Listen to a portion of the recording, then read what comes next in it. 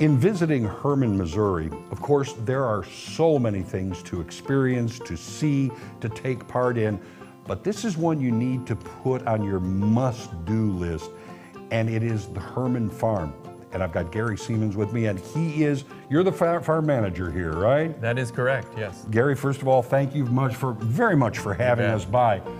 We're glad to have you. And we can't ignore the horses in the room, so to speak. Nope. Because this is also part of your duty here. Yes, I am also the Shire trainer, and uh, the Shire draft horses, the black Shires that we have here, are a big part of Hermann Farm. They have been for many years, and you can come see them. Not only see them, but you can take a ride behind them. Uh, they'll give you a carriage ride around the farm. Uh, we participate in parades as well and things like that. The uh, horses. Uh, are an endan- not an endangered species, but they are a protected species. Right. There are not nearly as many Shire horses as there are Clydesdales, Belgians, and Percherons, the other breeds of draft horses. So they are a very special horse, and there, there are uh, just not that many of them. So here's where you can see them. And one of the great things is, I mean, you're just giving just a little taste, but there is so much history when you come to Hermann Farm. So I have to ask the chicken or the egg, was the farm here first or was the town here first? Oh, the town was definitely here first. Okay, all right. and there's great stuff to do in Hermann, but we're right on the edge of Hermann, not far, and you can come here, do tram tours, you can do carriage rides, you could come do tastings at our distillery.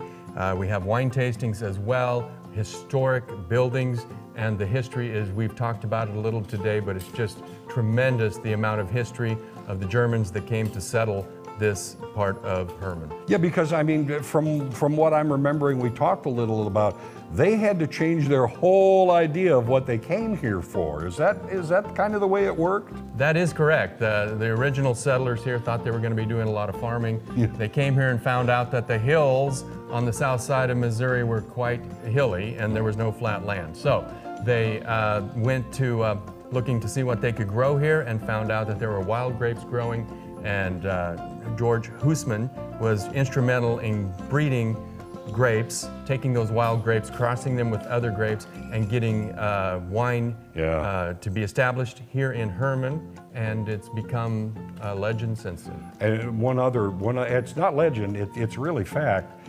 If not for the grapes here, the roots, you know, that sort of thing, the French wouldn't have what they have right now when it comes to some fine wines. That is true. George Husmann is credited with saving the French wine industry. I believe he sent over a million cuttings to uh-huh. France because the wines that were grown here in Missouri were much hardier and did not have the, the fungus that caused the problem in France. See, that is amazing. And then, you know, those are just a couple of the things that you can learn here. And as you said, there are so many different ways to see this. And one thing that also shouldn't be missed is the garden. When you first come in, there's a beautiful garden there. Yes, very, very beautiful four square garden, a traditional German garden that has a variety of vegetables, fruit trees, uh, everything the early original settlers would need to live and survive through the winter. Yeah, and it's great, and you have wonderful volunteers working on it. Make sure, making sure that this tradition and this kind of knowledge is also handed down. Exactly, and it's, it's there for the public to see. You can come to our visitor center. Uh, from there, you can see uh, that and the first settlement buildings, and you can also book a tour to take a tram tour, do the Clydesdale experience, or excuse me, the Shire experience. Yeah, gave you a dirty look when you said that. He you did. know. Sorry Yes. about that, Jack. But it's, I mean, all about it. This is kind of a living history and an oral history place, as well as just the land itself, the people who have worked it, all part of all the things that you can find in Hermann. It's a beautiful place. Even if it weren't an historic place, it's just beautiful to come here and see the greenery and the, the crop. If people want to know all that you have to offer here, how do they get that information? They can get that by going to our webpage, which is hermannfarm.org. Okay, you can't forget it. You're coming to Hermann, come to Hermann Farm. No kidding.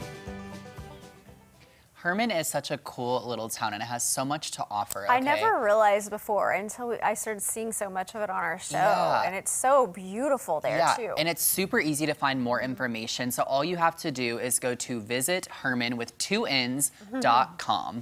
There's so much to enjoy, like their fabulous wineries, the trolley, and the art scene, plus plenty of your delicious food options.